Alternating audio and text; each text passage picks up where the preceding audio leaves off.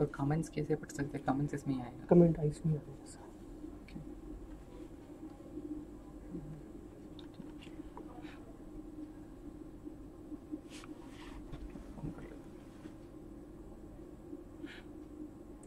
Sir comments last में ले लेना सर ठीक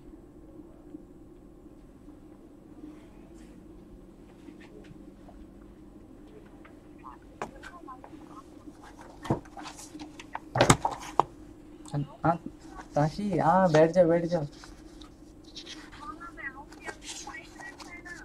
हाँ फिर भी यार क्या यार हाँ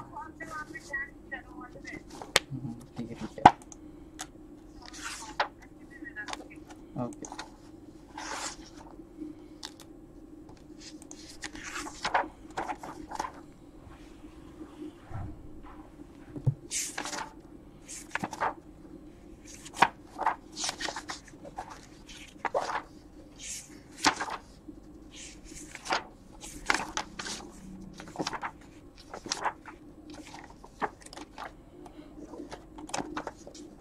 सर लिंक है आपके पास? हम्म? लिंक है आपके पास? लिंक मैंने भेज दिया है सर। उन्होंने मुझे दे दिया था। ठीक मतलब यहाँ का तो सिर्फ़ एक ही लिंक होता है ना? यहाँ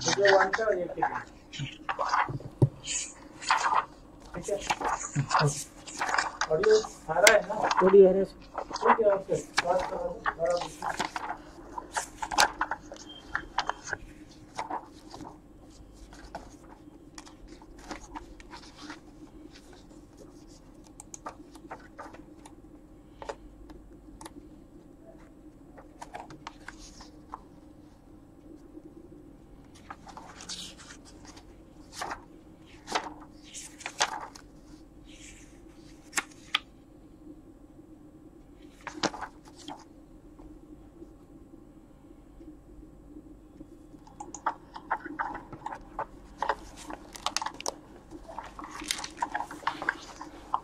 sir.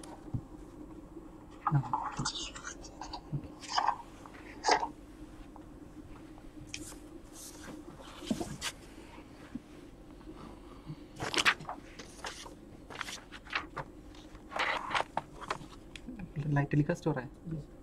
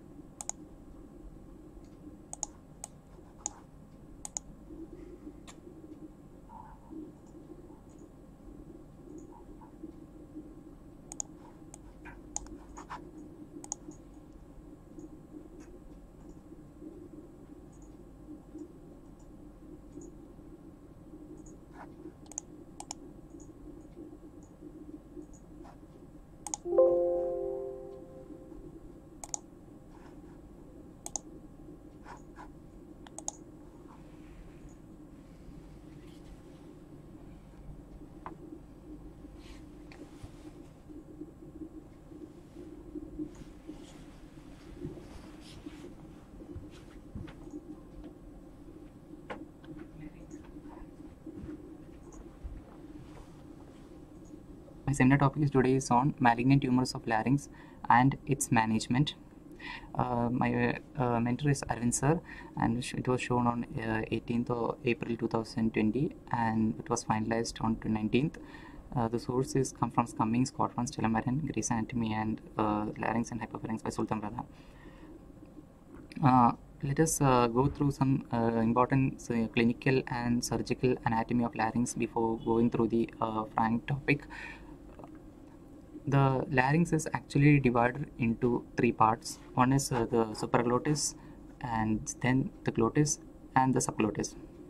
The supraglottis extends from the laryngeal inlet to the vestibular fold and the subsite of the larynx involves the suprahyoid epiglottis which involves the lingual and uh, laryngeal surface the infrahyoid epiglottis the aryepiglottic fold the false vocal cord the ventricle and the arytenoids the glottis part actually uh, ranges from the uh, vestibular folds to 0.5 centimeter below the uh, free edge of the true vocal cords the subsite involves the anterior commissure the true vocal cord and the um, posterior commissure. The subglottis is actually 0.5 centimeter below the free edge of true vocal folds to lower border of the cricoid cartilage. The subglottis is being the only complete cartilaginous ring structure and is most sensitive and vulnerable to trauma.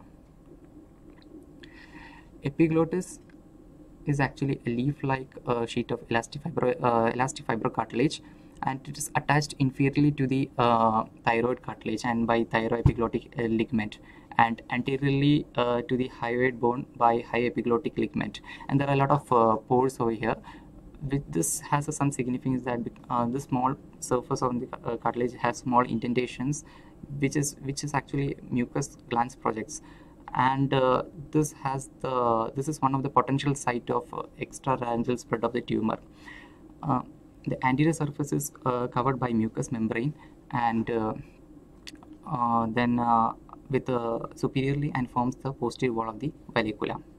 The mucous membrane overlying the epiglottis is reflected onto the base of tongue, forming the genioepiglottic fold in the midline and laterally.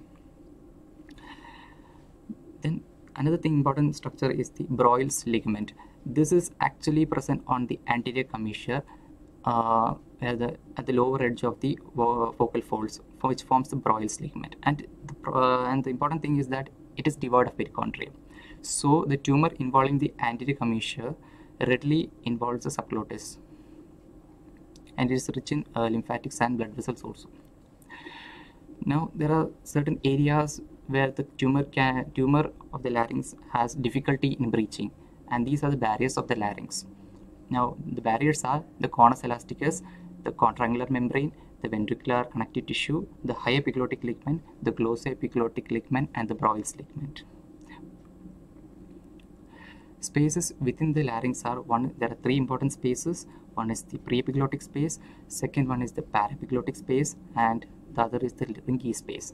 The preepiglottic space is actually the space which is bounded anteriorly by the thyroid membrane, posteriorly by the epiglottis, uh, superiorly by the hyoepiglottic ligament, which is connecting to the epiglottis to the hyoid bone. Now, the tumor uh, may spread here through small perforation in the epiglottis, okay, uh, which is directly into the uh, and or directly through the hyoepiglottic or through the hyoepiglottic uh, ligament. Other important uh, important space is the paraepiglottic space. The paraepiglottic space is bounded laterally by the thyroid cartilage, medially by the quadrangular membrane, and supramedially by quadrangular membrane, and inframedially by the uh, conus elasticus, and posteriorly by the pyriform fossa mucosa. The content involve the laryngeal saccules and the ventricle. Now, uh, the tumor may spread extensively in this mucosal space in the absence of significant mucosal changes. Other space is the Reinke space. The submucosal space between the mucosa and the uh, mucosa of the glottis and the underlying vocalis muscle is the Reinke space. Now it acts as a bursa, allowing the mucosa to slide over the underlying tissue, producing fluency normal speech. The arterial supply of larynx involves the two important artery. One is the superior laryngeal artery and the inferior laryngeal artery. The superior laryngeal artery arises from the superior thyroid uh, artery, and the inferior one arises from the in- inferior thyroid artery. And uh, the superior thyroid artery, together with the inferior branch of superior laryngeal nerve, pierces the thyroid membrane, and the uh, it can be injured in endoscopic laryngeal surgery as it enters the um, um, paraglottic space at the anterior end of the aryepiglottic fold. The inferior uh, laryngeal artery arises from the inferior thyroid artery and ascends on the trachea with the recurrent laryngeal nerve. It enters the larynx beneath the lower border of the inferior constrictor to supply the larynx. The venous drainage uh, is, combines the artery, the superior laryngeal veins which enter into the IJV, and the inferior laryngeal uh, vein which drain into the inferior thyroid artery. Uh, then, uh, which connects, then uh, the superior laryngeal veins through the IJV is through the thi- superior thyroid uh, vein or facial vein, and inferior thyroid vein drains into the inferior thyroid vein, which connects with the brachiocephalic vein, and some vein drain into the middle thyroid vein and then into the IJV. The lymphatic drainage involves the two uh, above the vocal cord and below the vocal cord. The above the vocal cord is drained by the vessel that accompany the superior laryngeal vessels and pierces the thyroid membrane and emptying into the upper deep cervical lymph nodes.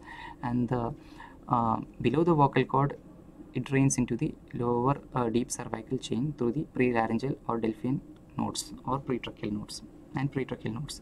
The vocal folds do not have lymphatics, so early cancers here do not readily spread to the lymph nodes. Now the epidemiology of larynx. The worldwide laryngeal tumors accounts for 1,56,000 new cases per year and 83,000 deaths. The incidence is higher in male, obviously because of the uh, risk of uh, etiology of cigarette smoking and alcohol. The laryngeal tumors are most common after the age of 60 and less common under 40 the incidence of laryngeal cancer has decreased by 20% since 1990 because of the awareness of the etiological factors. And it appears to have the plateaued between 2002 and 2006 and this has been hardly attributed etiology uh, involves smoking cigarette smoking which is the most common etiological factor then alcohol then infection like hpv occupational toxicity like asbestosis, polycyclic aromatic hydrocarbons, wool dust, coal dust, and cement dust, and low socioeconomic status and manual blue collar occupation.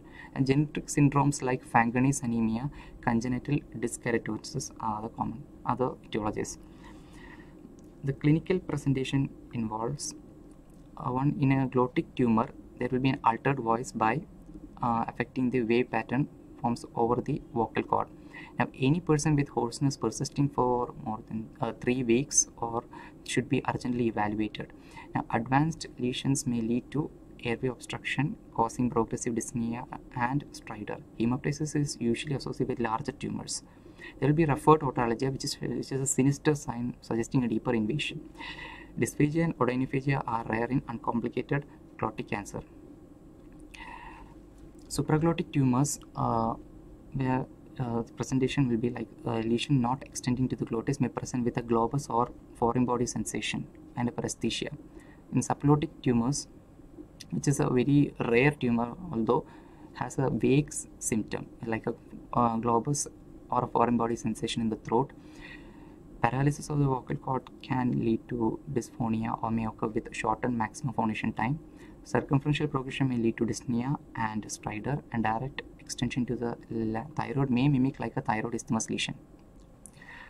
Transglottic tumor is a tumor that crosses the ventricle in a vertical direction. A tumor can be said to be a transglottic in four ways. One, by crossing the ventricle directly, or by crossing the anterior commissure, or spreading through the paraglottic space, or spreading through along the arytenoid cartilage uh, posterior to the ventricle.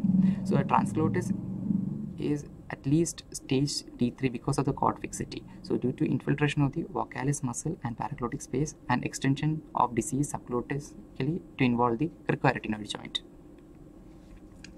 Now in a clinical examination, how to evaluate a patient clinically. First, you have to uh, after history, his taking a detailed history, we'll go through the uh, neck examination first, where we check for the uh, nodes, presence of any nodes, any mass lesion or skin over any swell, skin over the swelling. Uh, we'll also check for the um, crepitations, which is called Brooks sign, and uh, we'll also do an indirect, uh, indirect laryngoscopy. If indirect laryngoscopy, we, if we if the growth is on the supraglottis, uh, we'll see a obvious lesion over there. If uh, indirect laryngoscopy is not possible, then we can go for a fiber optic laryngoscopy, where we will see the type of growth, whether it is ulcerative, proliferative, or any mucosal bulge is present. Then we'll assess for the cord status and its mobility, the pooling of secretion, that is the Jackson sign, and then after then after that we'll post for biopsy if possible, and uh, under direct laryngoscopy we'll take a biopsy. Uh, now let's uh, go some go to some pre-malignant lesions of the larynx. The very early lesions involves uh, the hyperkeratosis and the parakeratosis without uh, cellular atypia or dysplasia. For squamous cell carcinoma, uh, squamous cell dysplasia is a pre-malignant lesion. Mild dysplasia are minor and are limited to the basal one-third of the epithelium. Moderate dysplasia uh, displays more than two-thirds of the uh, epithelial thickness and severe dysplasia involves more than two-thirds of the epithelial thickness. Carcinoma in situ is an intraepithelial neoplasm with full thickness of squamous epithelium. The cellular features of carcinoma is without inviolation of the base membrane and stromal invasion. The malignant transformation of these uh, dysplasias, a lesion, lesion without dysplasia is 3.8%, whereas in mild to moderate dysplasia it is 10.1%, severe dysplasia is, or carcinoma in situ is 18.1%. Now, for uh, detecting these uh, dysplasias, we have some uh, diagnostic test. One is the Toluidine blue test to detect the dysplasia of premalignant changes, which is noted with 91% sensitivity and 52% specificity. With methylene blue staining, it provides histological information and assessment of vascular pattern. Uh, human tissue can produce a lot of compounds that give fluorescence. The difference of the fluorescence of the abnormal tissue is exploited as a diagnostic aid of laryngeal malignancy. So we, here we use an uh, a 5 dash ALA or 5 dash uh, 5 amino uh, levulinic acid. 5, uh, 5 ALA selectively induces the accumulation of the protoporphyrin 9 fluorescence in the tumor. So topically applied, it is topically applied with a nebulizer of, of 1 to 2 hours before the examination and a light source that emits a short wavelength visible light of 375 to 440 nanometer is used to induce the fluorescence. Protoporphyrin 9 fluorescence appears red during this imaging. The sensitivity of this test is 95% and specificity is 80%, but it has some limitations. Can produce false positive and false negative in scarring, hyperkeratotic lesion, and inflammation.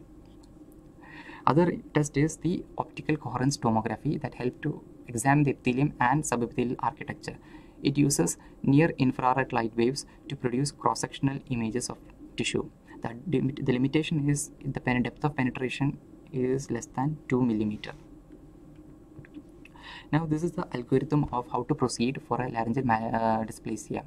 So if it is a single lesion, we can use cold steel or carbon dioxide laser excision. If it is a multiple, if it is a multiple foci, then confluent uh, leukoplakia uh, or confluent leukoplakia uh, can take multiple biopsy from and histological mapping can be done and we can follow for and we can follow the patient accordingly. The follow-up is in such a way that if it is a low risk if it is a high risk case like in a mild to moderate dysplasia or a severe or carcinoma in situ uh, for one year we have to follow for two to three months. For two to three years for again for two, uh, two three to four months. And to four and for next to four to five years we have to follow every six monthly. This is how we follow for high risk cases. For low risk cases like mild to moderate dysplasia without any uh, etiological factors like smoking hoarseness or any visible lesion we can follow the patient six monthly. We have to take care of the one of the important fact that the patient should be devoid of the uh, patient should avoid the uh, precipitating risk factors like smoking or uh, and we should provide uh, any proton pump inhibitor that might cause uh, this, uh, this LPR like condition. So okay. so that is also one of the risk factor can, which causes laryngeal dysplasia.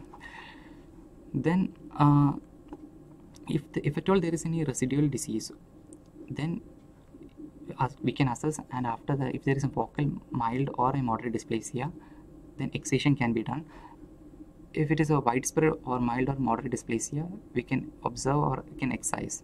The excision is either favored by heterogeneous texture erythroplakia features of a proliferation or if the patient is symptomatic. If it is a severe dysplasia or carcinoma in situ then it should be managed by uh, as stage 1 t1 disease.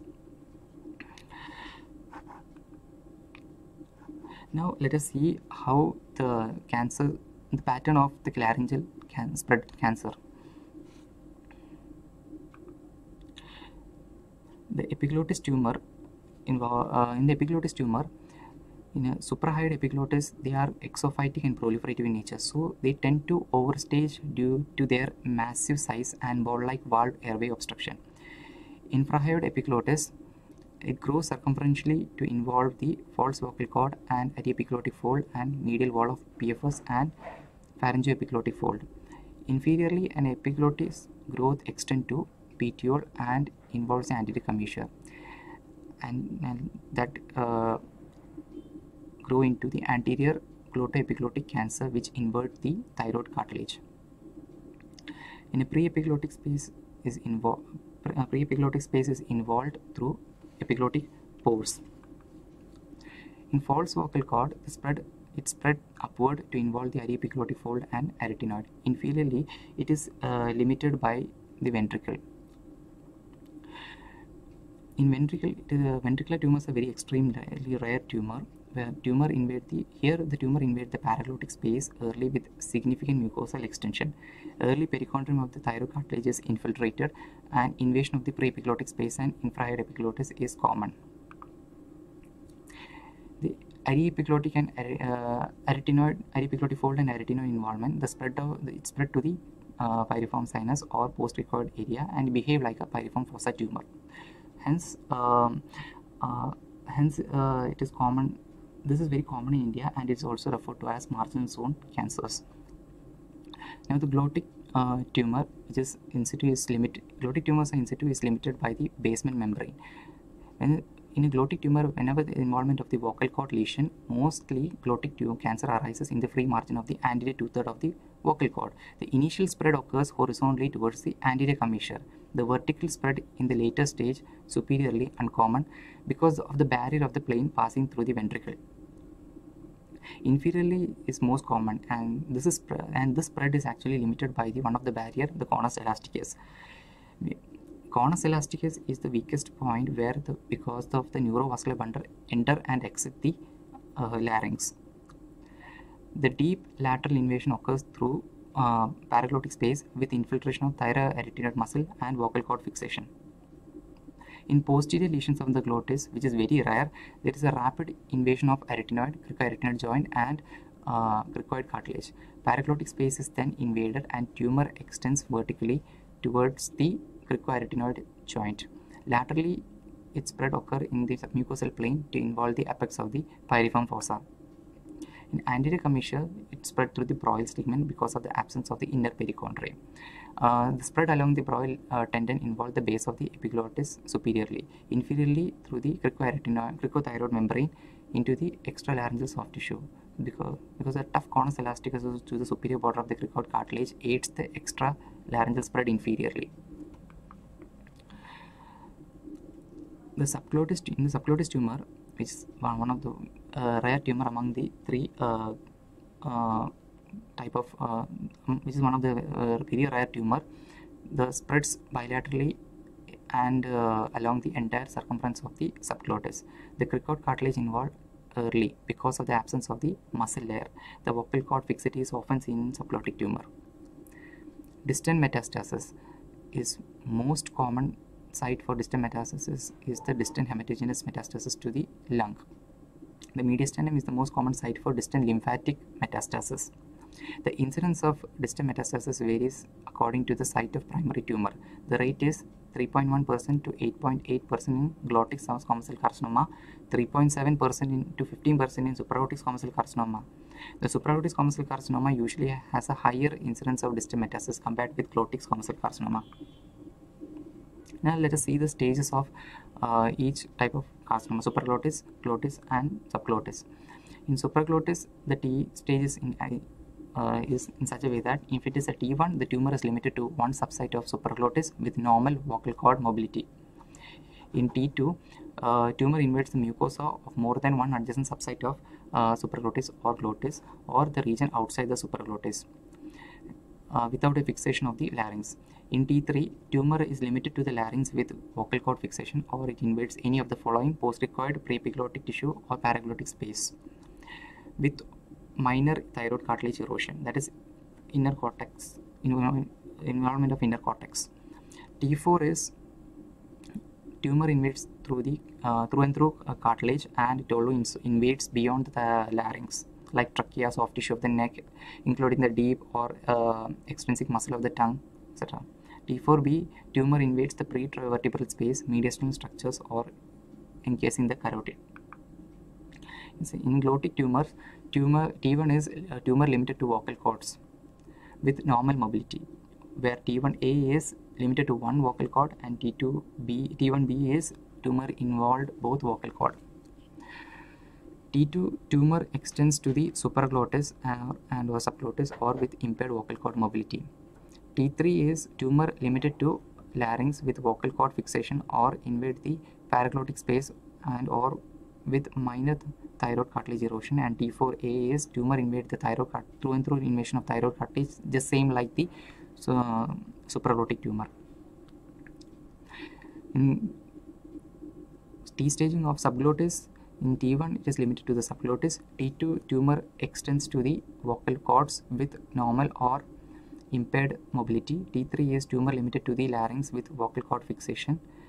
And T4A and T4B is the same like other uh, tumors like in uh, supraglottis, glottis and subglottis. Now how to manage uh, laryngeal cancer. The treatment decision of the uh, laryngeal cancers are based on the T staging, the site of lesion, the nodal status, the patient's profession, age, ECOG status, and comorbidities and pulmonary status. In T staging, the early T stage it is divided to early T stage, intermediate, and advanced T stage. In early T stage, uh, it is T1, T1 and T2.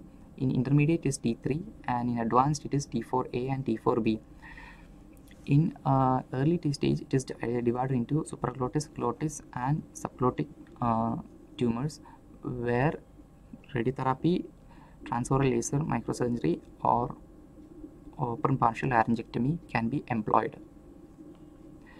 In early T stage glottic cancer, local control is best achieved with T1 cancer. With in T1 cancer is with uh, overall achievement of uh, transoral laser resection with 92% and uh, with a vertical partial laryngectomy with 96% in um, anterior commissure free with uh, anterior commissure free free involvement. And uh, with an anterior commissure in, involved uh, disease transverse uh, resection and radiotherapy both has uh, very good local control.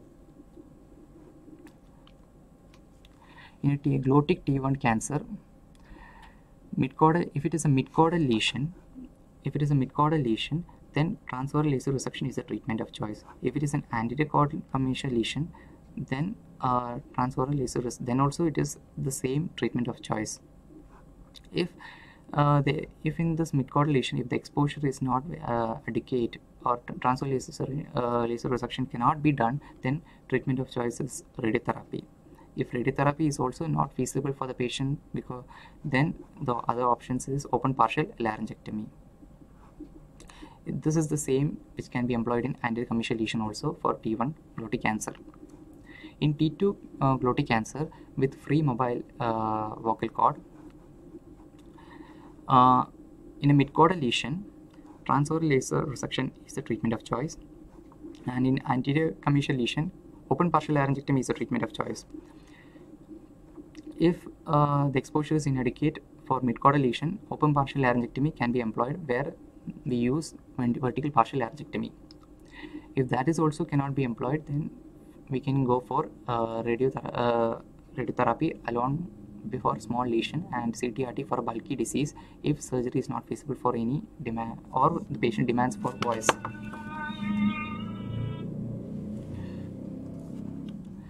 In anterior commissure uh, lesion, open partial larynge, uh, laryngectomy is the treatment of choice. Uh, transoral laser resection can be employed if uh, if it is it is not uh, if the care, care should be ca- for this for care should be taken to so that to convert into open partial if cartilage erosion is present. Then other uh, option is uh, CTRT if that is also cannot be done.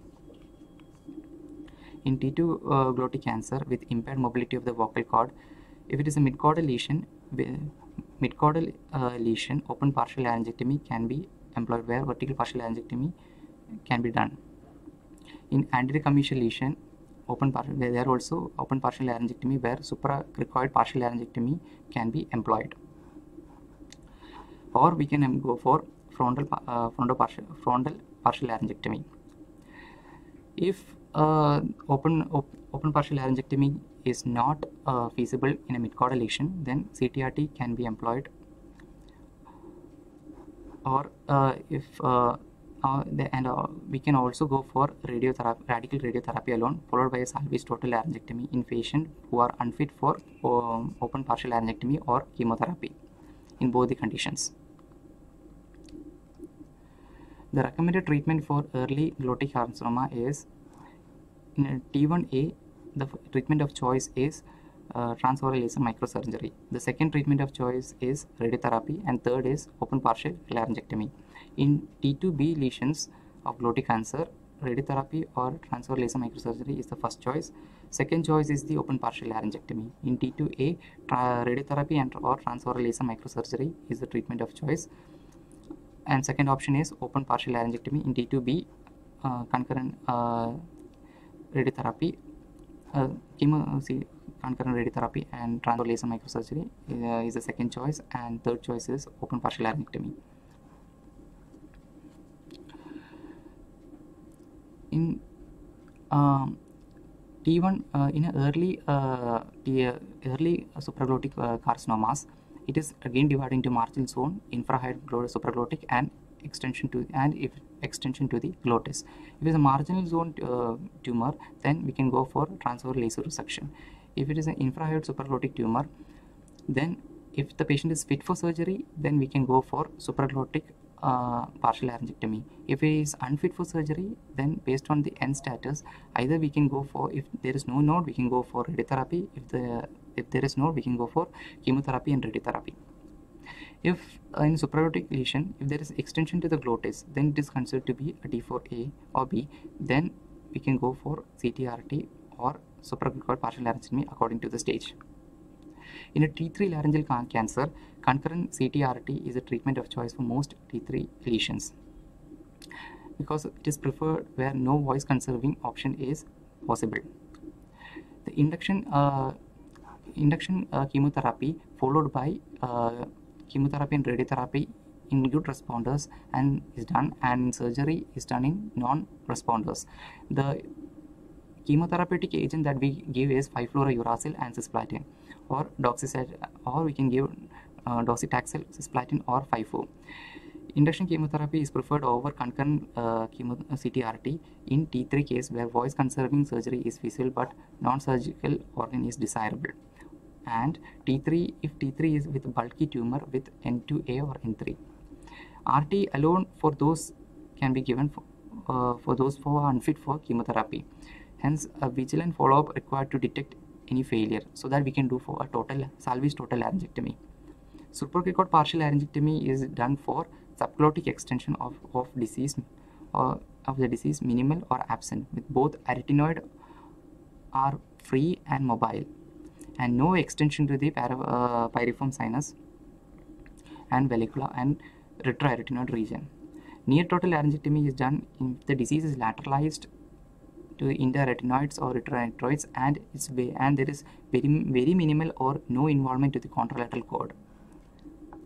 Total laryngectomy can be employed for patients with stridor, patient who is unfit for uh, chemotherapy due to impaired renal or cardiac liver tissue issues. Open partial laryngectomy can be employed for supraglottic T3 lesions with uh, pre-epiglottic space invasion where we can go for horizontal partial laryngectomy. And glottic uh, T3 lesions with paraglottic uh, invasion we can employ we can go for vertical partial laryngectomies. In a T4 uh, adva- uh, laryngeal uh, advan- T4 uh, laryngeal carcinomas T4A surgery uh, that is total laryngectomy followed by posterior radiotherapy is employed. We can give uh, uh, CTRT as an adjunct treatment if the surgical margin is positive and there is nodal extracapsular spread. For T4B, usually palliative and supportive care is given.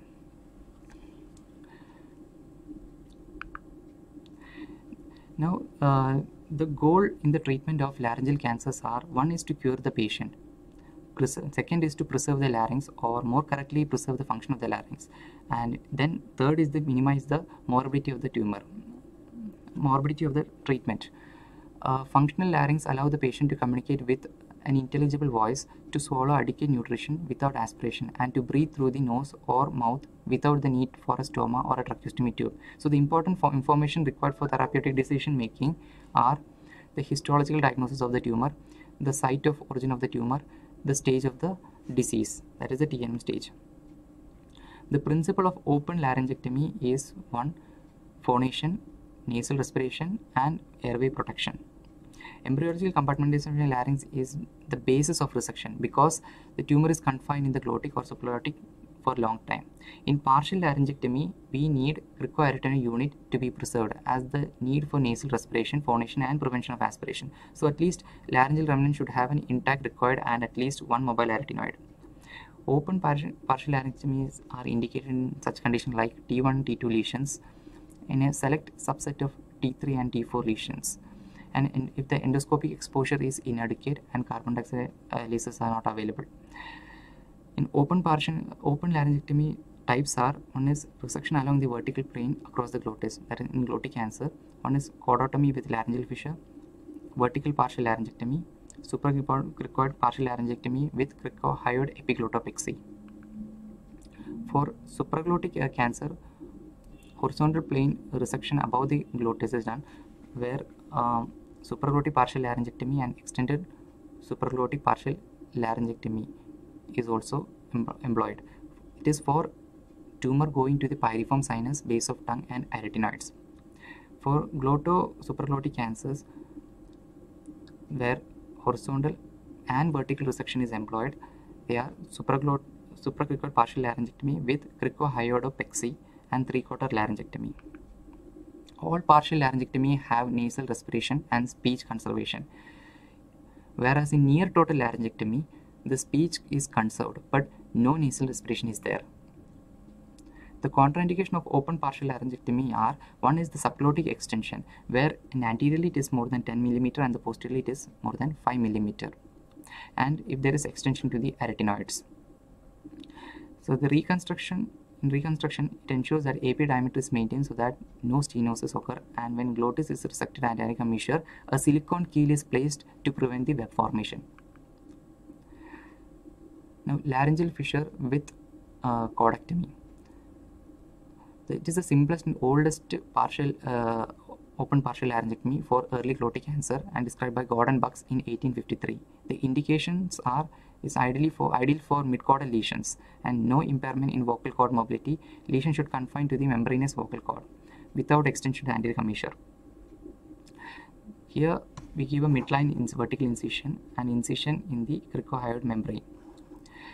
This is the uh, cross-sectional view of the uh, tumor involved where we excise this tumor of the midcordal lesion. This is the um, longitudinal section where the uh, lesion is involved and the part of and the part we are excising off. The mid so the laryngeal entry is through the cricohyoid membrane and uh, the chordectomy entails the removal of the soft tissue and the thyroid and the in uh, perichondrium approximate and the thyroid and the perichondrium is approximated after that. And the mucosal defects is allowed to heal by granulation. And later in few weeks dense fibrous pseudocord usually forms in that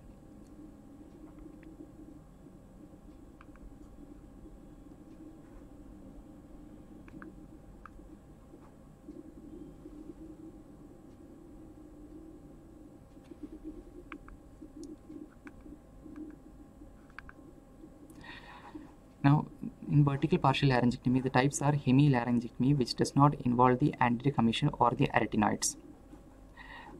This is the uh, incision given in hemilaryngectomy. Uh, in frontal laryngectomy, where the anterior commissure is involved, which involves where the incision, where we take off the anterior commissure part as well as the anterior, the uh, front part of the thyroid cartilage. Hence, it is the frontal laryngectomy. The frontolateral, which involves the anterior commissure and that actually crosses the other vocal cord of the involving the anterior commissure. So uh, some of the lateral part is also taken. Then extended hemilaryngectomy, where the involvement of one arytenoid is there.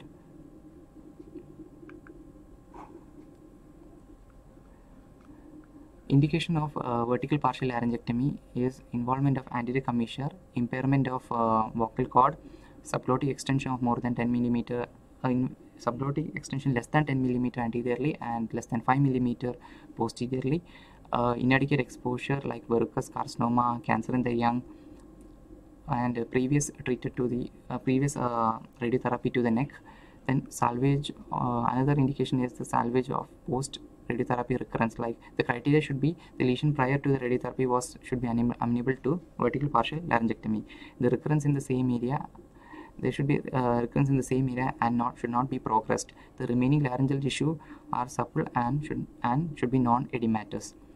And other and other indications are the select T3 glottic cases where cord is fixed but the arytenoids are mobile and there is minimal extension to the subglottis. The cartilage uh, cuts uh, given in the different types of uh, laryngectomy are one is the frontal, one is the frontolateral, one is the frontolateral area where the front and the lateral part of some of the lateral part of the cartilage is involved. This is a conventional hemilaryngectomy uh, incision. Then uh, this is the fr uh, frontal incision in frontal par partial laryngectomy, and this is the extended one incision. The limitation of the vertical partial laryngectomy are one is the extension of the uh, subglottis where it is more than 10 millimeter and 5 millimeter anterior and posterior respectively. Then paraglottic space disease extending above the, to the level of uh, ventricle and below up to the cricothyroid level. Extension across the anterior commissure involving more than one third of the contralateral vocal cord and cord fixity associated with fixation of the arytenoids now supracricoid partial laryngectomy with cricoid epiglottopexy that deals with the glottosupraglottic tumors and involves the uh, removal of the entire thyroid cartilage bilaterally along with the um, paraglottic space and it involves the removal of infrahyoid epiglottis. It is an oncologically good procedure but physiologically it's a stressful problem because uh, postoperatively patient can suffer from aspirations. So this is actually not advocated for uh, advised for a patient with poor pulmonary reserve.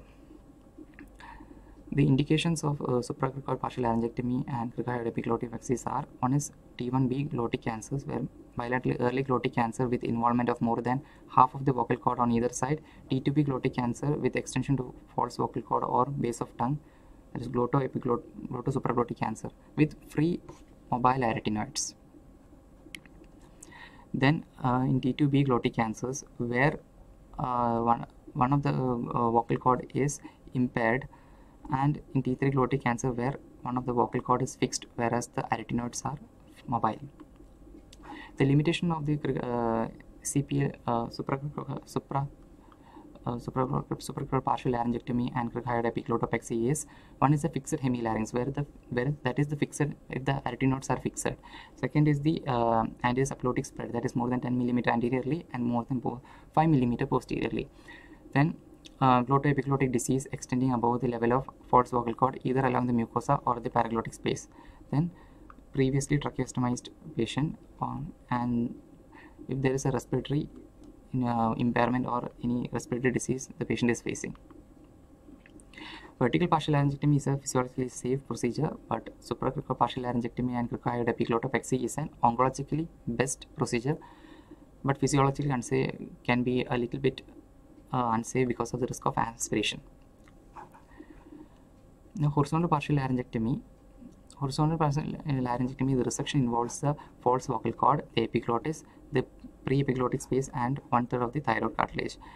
Whereas in extended horizontal supraglottic partial laryngectomy involves the resection, involves the supra, yes, all the uh, structures involved in the horizontal partial laryngectomy, uh, with, in addition to the ipsilateral arytenoids and vallecula with adjacent base of tongue and or piriform. Awesome. The indication of the horizontal partial laryngectomy are one is early supraglottic cancer with freely mobile vocal cord, infrahyoid epiglottis involvement, early supraglottic primary with N2 N3 neck disease, and early supraglottic cancer in very young individual to avoid radiotherapy in young. The contraindication of uh, horizontal partial laryngectomy is poor pulmonary reserve, impaired cord mobility, thyroid cartilage erosion, involvement of pyriform sinus up to its apex, involvement of any uh, intra-arytenoid post-cricoid region or significant involvement of base of tongue. Now, uh, other type of open partial laryngectomy is uh, both vertical and horizontal partial laryngectomy, which is widely accepted for transglottic tumors. Uh, the supracricoid partial laryngectomy with cricohyoidopexy is the procedure done here, where the indicate which is indicated in the spread to anterior commissure or across the ventricle to the uh, vocal cord, or there is an impaired vocal cord mobility uh, with uh, freely mobile arytenoids or there is an early cartilage erosion uh, to, with intact external perichondrium of the thyroid. Then contraindication of the uh, vertical plus horizontal partial laryngectomy is a fixed hemilarynx like a, fi a fixed uh, arytenoids. And then subglottic extension more than 10 millimeter uh, anteriorly and more than 5 millimeter posteriorly uh, involvement of uh, base of tongue vallecula and massive involvement of preepiglottic where, space where the hyoid bone can't be saved, involvement of the piriform sinus, involvement of post-cricoid uh, and interarytenoid region, prior and prior tracheostomy patient and poor pulmonary reserve patients. Now, a small uh, now another important surgery is the transoral laser microsurgery, laser micro transoral laryngeal laser microsection. The indication of uh, transoral laser micro, uh, microsurgery is um, leukoplakia, erythroplakia, T1 or T2 glottic tumors, supraglottic and hypopharyngeal squamous cell carcinoma with uh, mobile free vocal cord, localized residual or recurrent ca cancer following radiotherapy, non-squamous and non-radiosensitive tumors, Deep infiltrating tumors with restrictive vocal cord are treated with open surgery or with CTRT. The advantage is that if uh, the, the advantages uh, of uh, transoral laser resection is short treatment time and hospital stay. The cost is low, no need of doing tracheostomy, smooth uh, postoperative course, and voice conservation option is available. Um, based on the uh, resection, the transoral laser uh, resection is uh, categorized into six types based on European Laryngeal Society. Uh, of the glottic tumor, of the glot of the glottis resection, is divided into subepithelial cordectomy, where the epithelium is removed, subligamental uh, cordectomy, where the epithelium, Reinke space, and the vocal ligament is removed uh, transmuscular where the epithelium, Reinke space, vocal ligament and the part of the vocalis muscle is also removed. Uh, then uh, extend then uh, total cord then the total cordectomy where it extends from the vocal process up to the anterior commissure uh, up to and with or uh, without the inner perichondrium.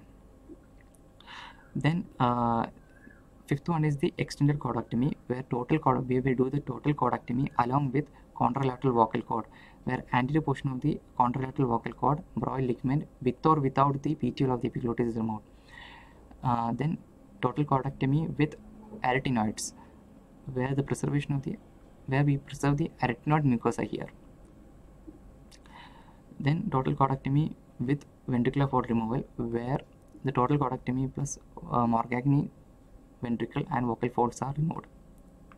Then total cordectomy with subglottis, where the, for those with maximum of 1 centimeter below the subglottis is removed. The and then the last um, and the sixth one is the anterior commissurotomy with um, for the uh, and the part removed is anterior part of the vocal cord without infiltration of the thyroid cartilage.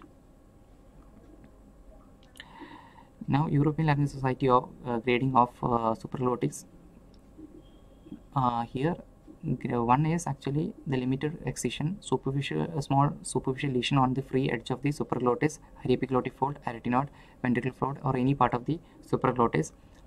Two is medial supraglottic laryngectomy without pre-epiglottic space, where it is again divided into 2A and 2B, where superior hemi uh, and total epiglottomy then 3 is medial supraglottic laryngectomy with pre-epiglottic space without ventricular fold and with uh, A 3A is without ventricular fold and 3B is with ventricular fold. Uh, then 4 is lateral supraglottic laryngectomy with A and 4A is ventricular fold and 4B is arytenoid.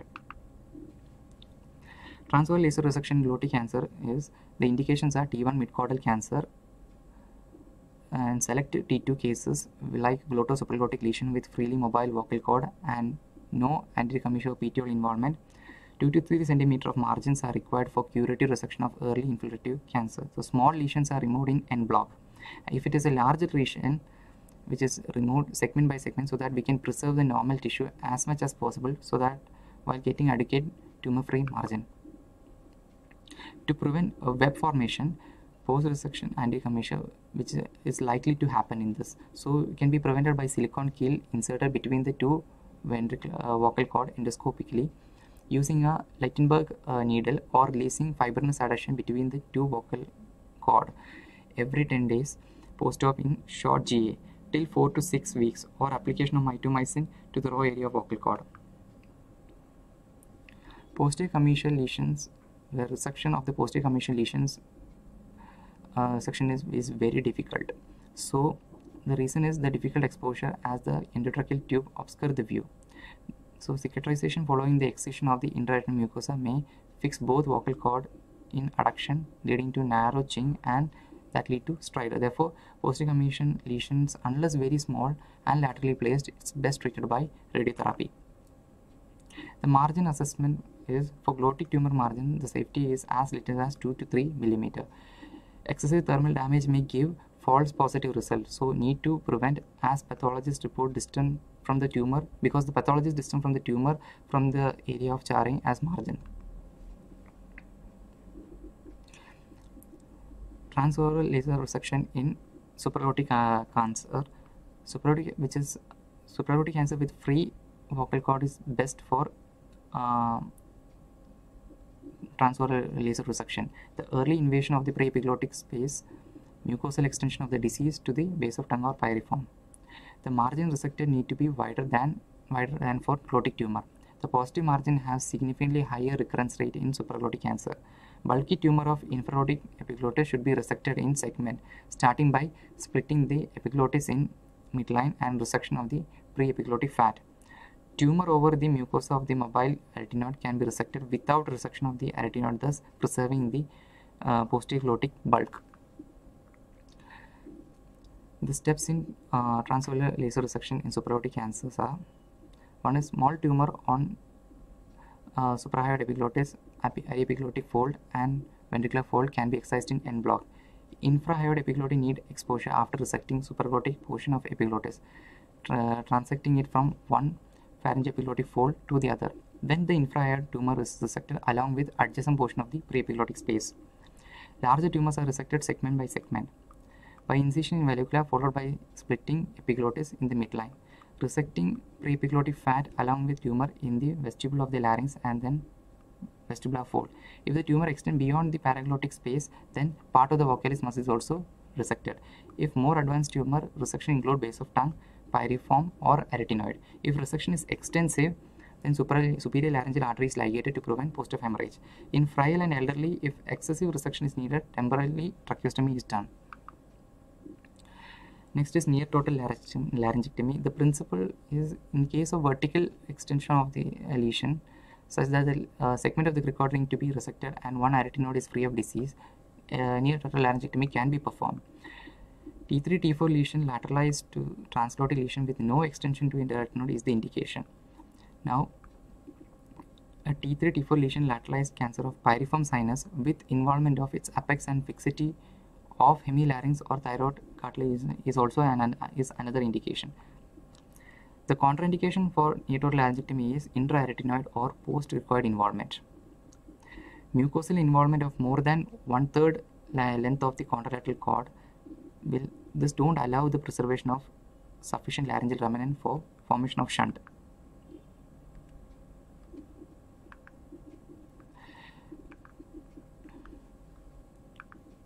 The most the resection of the strap uh, the technique apply uh, now uh, the procedure employed here is the resection of the strap muscles and uh, ipsilateral thyroid ipsilateral cricoid and upper tracheal rings after skeletonization of the uh, trachea after skeletonization tracheostomy is done.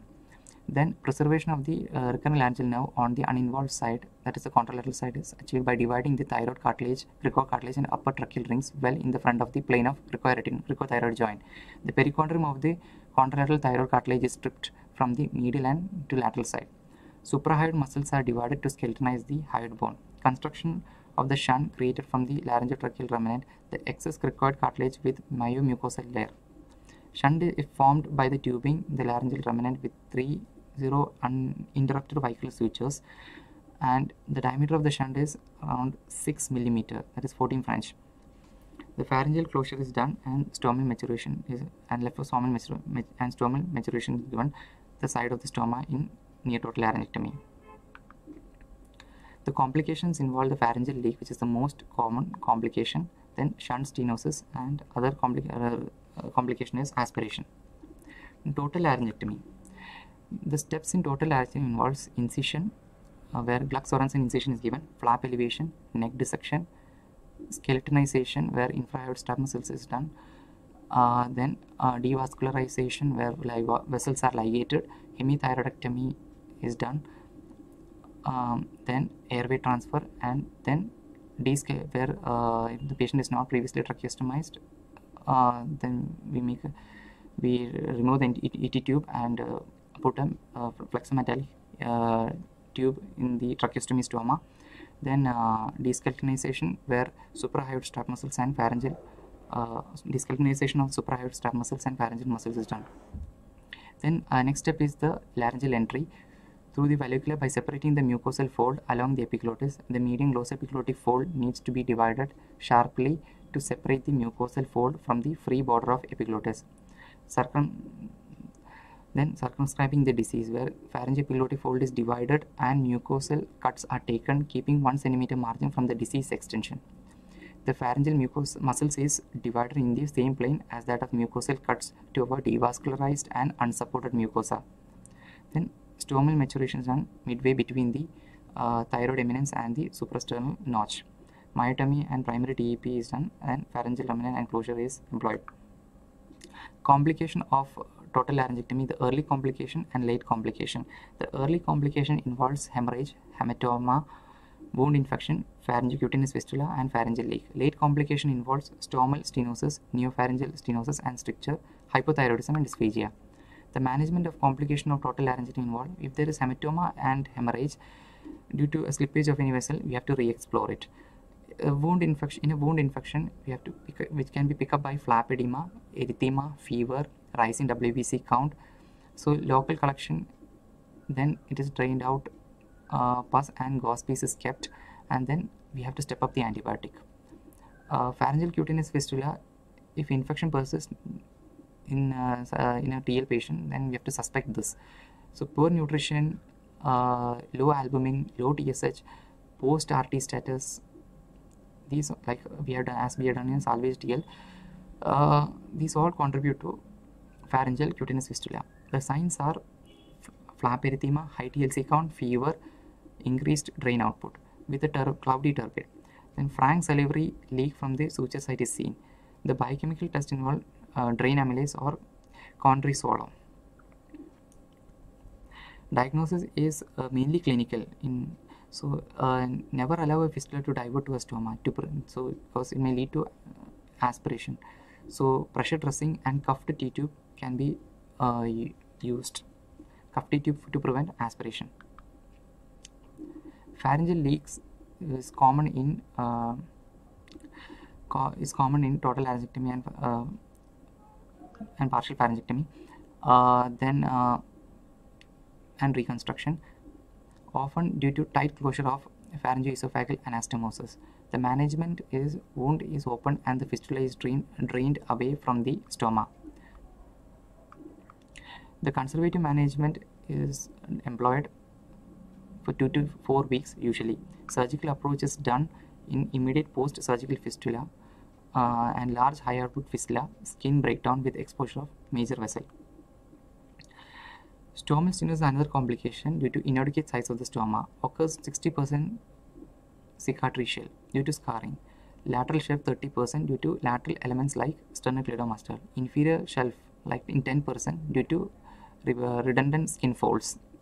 It can be prevented by serial dilatation of the T tube. The multiple radial incision around the stoma or Z-plasty can be employed or tissue augmentation can be also done. Neopharyngeal stenosis and stricture. The main feature is dysphagia, so that lead to uh, direct pharyngoscopy. So we can do a direct laryngoscopy and esophagoscopy in suspect cases. If present, serial endoscopic dilatation is performed. If there is no response, then free flap reconstruction can be considered. Hypothyroidism is another complication where seen in post RT with TL plus hemithyroidectomy, post TRT salvage, total laryngectomy, post op. Uh, so post op uh, thyroid function test to be done six months post operatively and uh, yearly thereafter. Now the non-surgical treatment plan of uh, CA larynx. One is radio, that is radio, radiotherapy and chemotherapy. The mechanism of radiotherapy is physical interaction, chemical interaction, biological interaction. Physical interaction involves the absorption of energy, rejection of electron, ionization of atoms, and that in turn causes the uh, chemical interactions like production of free radicals and like and peroxides. And these free radical species will damage the DNA, double and break the double-stranded uh, bonds, induce apoptosis and mitotic death, which forms the biological interaction. The RT has no surgical complications. Uh, they preserve form and function and ability to address the neck without nodes, without increasing the uh, the ability to address the neck nodes without increasing the morbidity. And the dose, usual dose of RT is 60 to 70 grays and 2 grays per fraction. That is 30 to 35 fractions in 6 to 7 weeks. The type of radiation treatment are definitive RT, uh, 60 to 70 grays in 30, 30 to 35 fraction for 6 to 7 weeks. Then sequential therapy for induction chemotherapy with two drugs like cisplatin and 5 or three drugs like doxycycline, cisplatin and 5 can be employed over 2 to 3 cycle followed by RT. Adjuvant RT with chemotherapy which is given after surgery in a poor prognosis factor and is usually 50 to 60 gray in 25 to 30 fractions over 5 to 6 weeks. The usual chemotherapy in chemotherapy, the usual chemotherapeutic agents are methotrexate, bleomycin, fluorouracil, cyclophosphamide, cisplatin, carboplatin, paclitaxel, docetaxel, and cetuximab.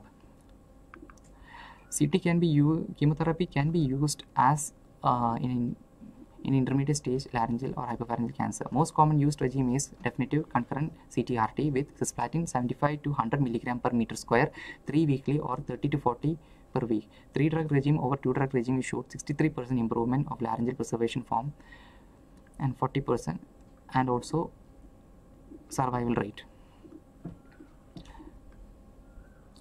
Locally advanced uh, laryngeal or hypopharyngeal cancer, the combination of chemotherapy used to reduce the tumor volume so that adequate mucosal and soft tissue margin can be obtained during surgery. Metastatic or unresectable or recurrent laryngeal or pharyngeal cancer or single agent chemotherapy is used to minimize the toxicity.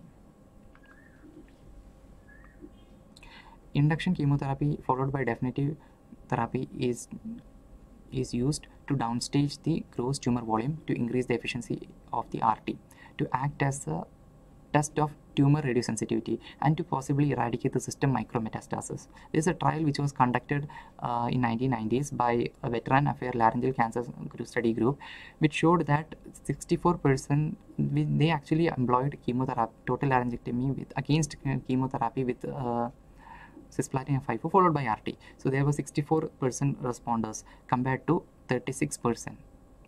Well, the failed 36% they have to undergo total laryngectomy. The rationale to add chemotherapy to radical RT is based on the temporal modulation, where repair, where the where to uh, increase the tumor response to fractionated uh, radiotherapy through repair, redistribution, reoxygenation, repopulation. Then biological cooperation, where uh, targeting the distinct cell population or mechanism to induce cell killing or tumor regrowth delay. Then cytotoxic enhancement, the cell killing by modulating the induction or processing of intracellular damage. There was a trial conducted in uh, by RTOG 9, 9 trial 9111 uh, where RT alone shows an organ preservation rate of 67%. Concurrent CTRT they showed an 84% of uh, organ preservation, and the induction chemotherapy followed by definitive RT 72%.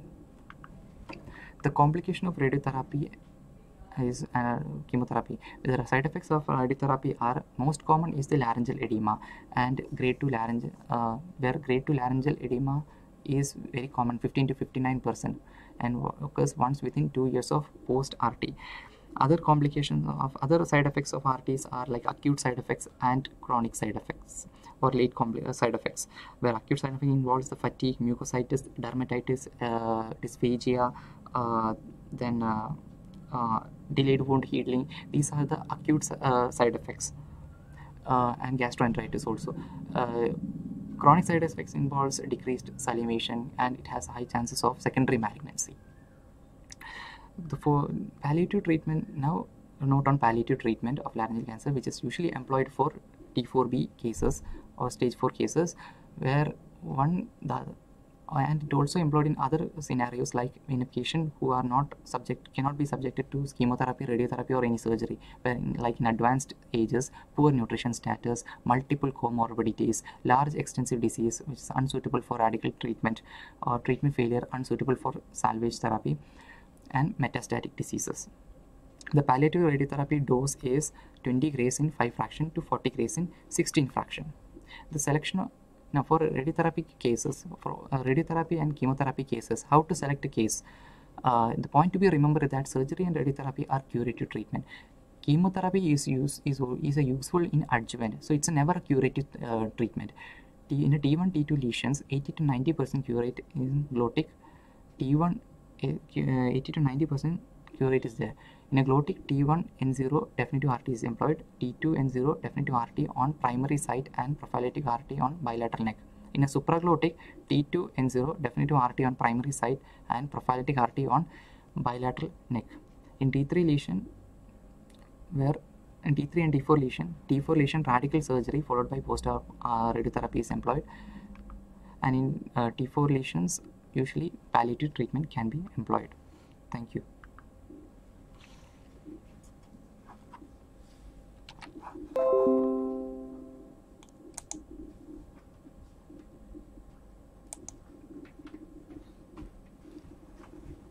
Anchor